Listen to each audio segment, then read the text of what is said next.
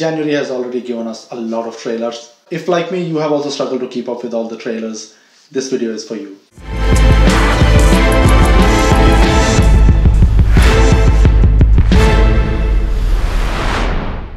We start off with Jawaani Jaaneman starring Saif Ali Khan, and in the very first few seconds, you know that this is going to be a fun trailer.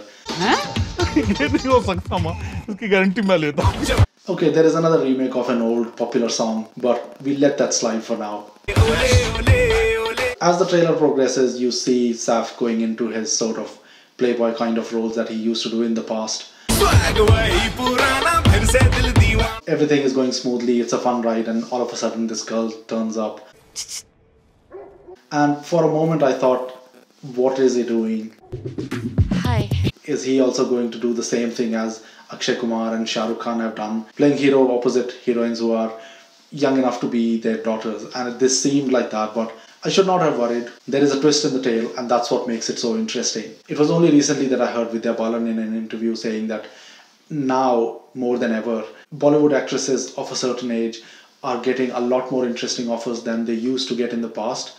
And Tabu coming into this role is just proof of that. Saif is playing his age, Tabu is opposite him. So great trailer with some great one-liners. अपनी माँ से बात की?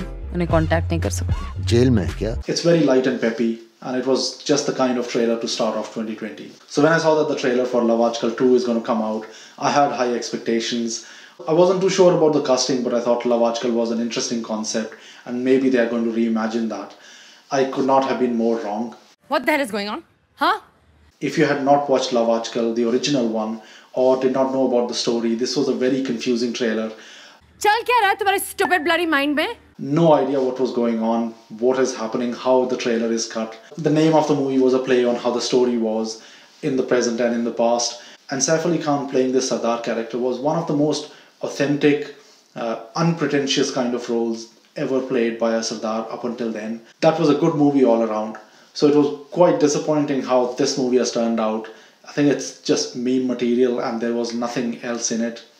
I could not find even a single thing that was good about this trailer, nothing that I could like about it. Sample this line. What is it talking about? Is it talking about Zoe or is it talking about. Sara Ali Khan's delivery was also quite stuttering and it just does not work overall. And all these remakes and reimagining of older classics, whether it is songs or movies, it just makes me want to say one thing to Bollywood. तुम मुझे तंग करने लगे हो In fact, I was so disappointed by this one that I was going to make a video titled The Worst Trailer of 2020 So Far. But then something else was suggested. और सच यही है कि तुम्हें रास्ते से हट जाना चाहिए And this is at a completely different level altogether. इसको समझना नामुमकिन है more than why Himesh has done this movie, I'm curious to find out who is financing these movies. I mean, who in their right minds is putting money into these projects? I would like to know. ऐसा कोई बंदा इस दुनिया में पैदा ही नहीं हुआ। Himesh Reshammiya in this Sardar character does not work at all. It is bordering on the offensive, and there is nothing at all in this trailer that would make you want to go and watch this movie. I don't know why he's still doing it. I think it's about time Himesh gave up starring in movies and does what he did best. He's still good at making music. I think he should stick to it, and all the flops so far should have proved that to him. लेकिन मैंने भी अपनी कोशिशें बंद Maybe he will never learn his lessons, but spare us, please. So, after two really disappointing trailers, I was not feeling very positive, but I had seen some artwork and promotions for Hacked. I thought at least it'll be an interesting concept, a new kind of story that will be explored. But in the very beginning of the trailer, all hopes were dashed. You tell me which modern screens or TVs switch on like this.